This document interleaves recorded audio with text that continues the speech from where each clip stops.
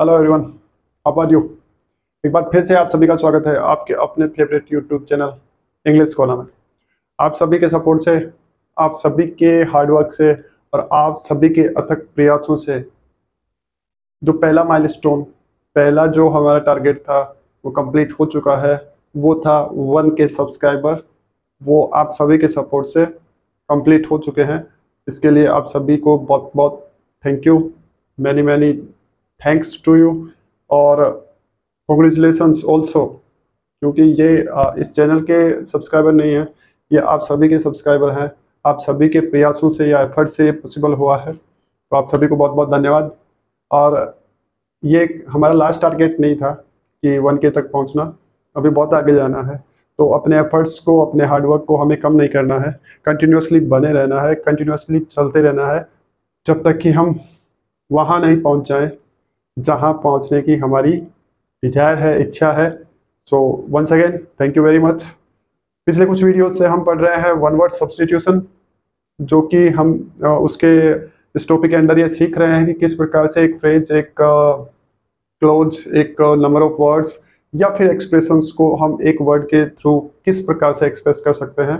बस उसी प्रोसेस को सीख रहे थे, वही different kind of one words हम देख रहे थे एग्जांपल्स देख रहे थे उसके, कि किस प्रकार के एक्सप्रेशन क्लोज और फ्रेज या नंबर ऑफ़ वर्ड्स की जगह अपन कौन सा वन वर्ड यूज़ कर सकते हैं। तो हम उसी अपनी जो प्रोसेस थी उसको आगे बढ़ाते हैं। पिछले वीडियोस तक में भी हम 75 वन वर्ड कंप्लीट कर चुके थे। आज उससे आगे चलने वाले हैं। डोंट वरी और हमें कोई जल्दी नहीं है कि अब एक ही वीडियो में या दो वीडियो के अंदर सब कुछ ख़त्म कर दें, क्योंकि ये कोई एक दो दिन चलने वाली प्रोसेस नहीं है। लगातार चलेगा। तो सभी सब्जेक्ट टॉपिक्स को अपन थोड़ा थोड़ा करके आराम से स्लोली स्लोली सीखते हैं। कोई दिक्कत नहीं है, कोई प्रॉब्लम नहीं है। और उसी के साथ साथ अभी क्योंकि हॉलीडे चल रहे हैं तो इसलिए थोड़ा स्लो है काम लर्निंग प्रोसेस का। उसके बाद में पॉलिटिकल साइंस और एसएसटी के वीडियोस भी आपको इसी चैनल पे मिलने वाले हैं। थोड़े दिनों बाद में। जल्दी ही। जैसे ही एक बार मुझे लगेगा या ऐसा होगा कि सभी जो पढ़ने वाले हैं, वो पढ़ने वाले रूटीन में आ गए हैं हॉलीडेज को भूल के, वैसे स्टार्ट हो जाएगा। क्योंकि उनको वेस्ट करना ठीक नहीं है है ना? तो मिलते हैं जल्दी उसके साथ में भी। S S T plus political science राजनीति विज्ञान राजनीतिज्ञ बनाना है आपको। चलिए।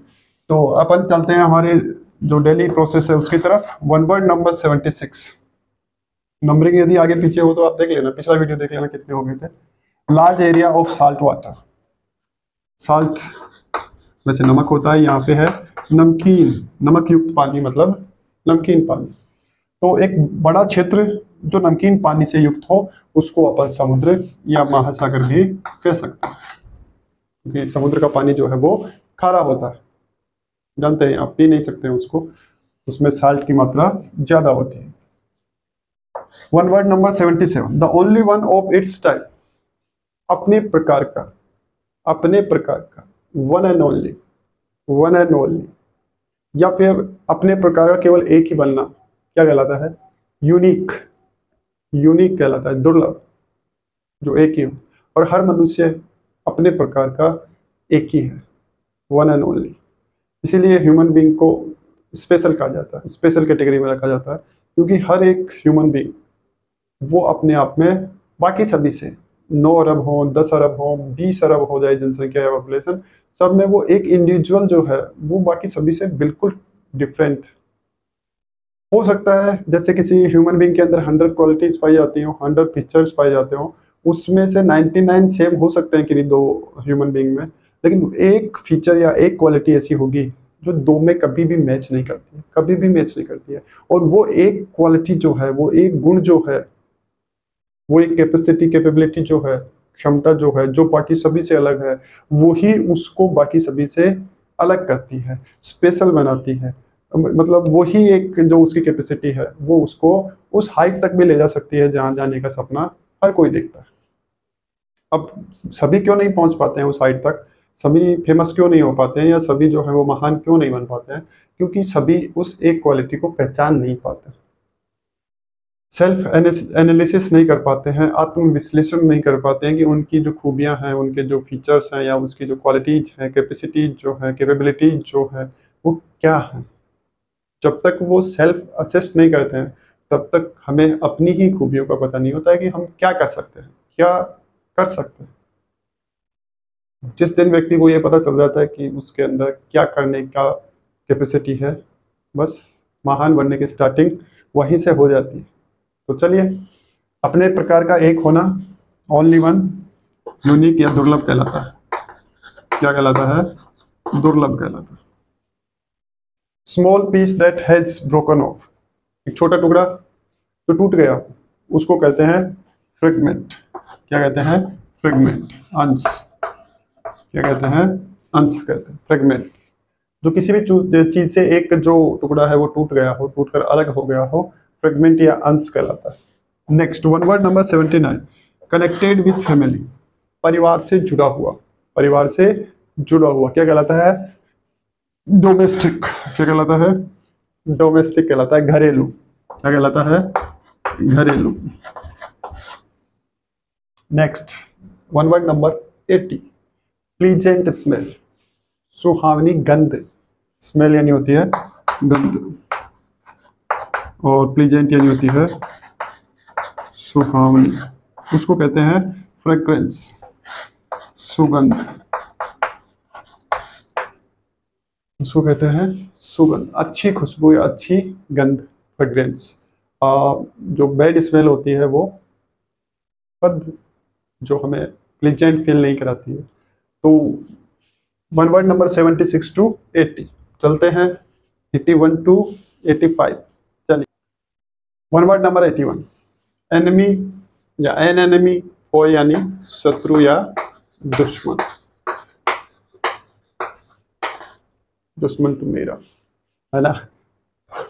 एनिमी या foe untidy pile of something किसी चीज़ का अव्यवस्थित ढेर या उसको कहें अपन, एक जगह अपन वस्तुओं को एक जगह अव्यवस्थित तरीके से डाल दें तो वो क्या कहलाता है? वो स्ट्रक्चर क्या कहलाता है? वो कहलाता है हीप क्या कहलाता है? हीप ढेर, या जिसको मारवाड़ी में कुंडी कहते हैं। कुंडी या कुंडा। छोटा हो ढेर तो कुंडी, बड़ा हो तो कुंडा। तो वो कहलाता है some untidy pile of something अव्यवस्थित ढेर किसी वस्तु का वो कहलाता है हीप या ढेर। One word number eighty three person who performs magic tricks व्यक्ति जो जादुई तरकीबें या जादुई कुशलताएँ प्रस्तुत करता है, प्रदर्शित करता है, उसको क्या कहते हैं? ये तो आपको आता ही होगा, आपने देखा भी होगा। मैजिशियन कहलाता है वो जादूगर। जादूगर वो जादूगर। तू है बड़ा जादूगर। सुना है ना बाजीगर। बाजीगर वो बाजीगर? तू है बड़ा बाजीगर? जादूगर और जादूगर तू है बड़ा जादू। जो मैजिक ट्रिक्स करता हो, वो व्यक्ति कहलाता है magician 84 tool that is used for digging ऐसा यंत्र या ऐसा उपकरण जो खोदने के काम में आता है। खोदने के गड्ढे मुर्दे नहीं, गड्ढा खोदने के काम में आता है। और उसको कहते हैं स्पेड स्पेड होता है फावड़ा।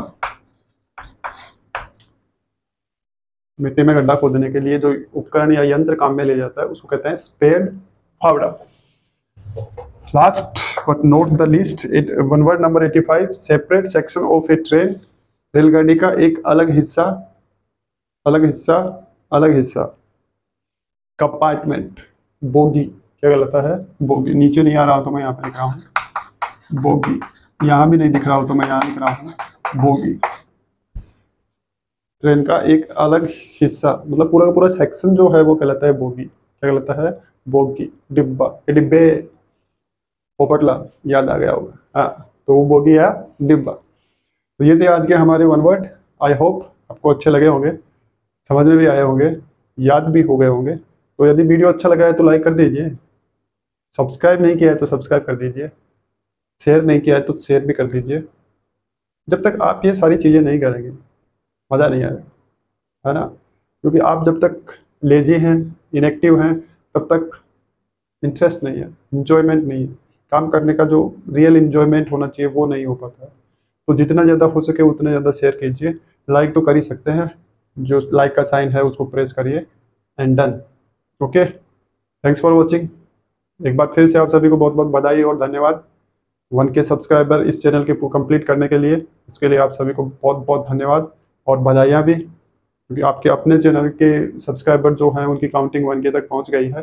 जितना जल्दी हो सके हम और सब्सक्राइबर गेन करने की कोशिश करेंगे। वन के टू के टेन के ट्वेंटी के चलती रहेगी गाड़ी, यदि आप सब कोशिश करते रहेंगे। थैंक्स फॉर ऑल मिलते हैं नेक्स्ट वीडियो में। Till then good night see you soon in the next video take care yourself bye bye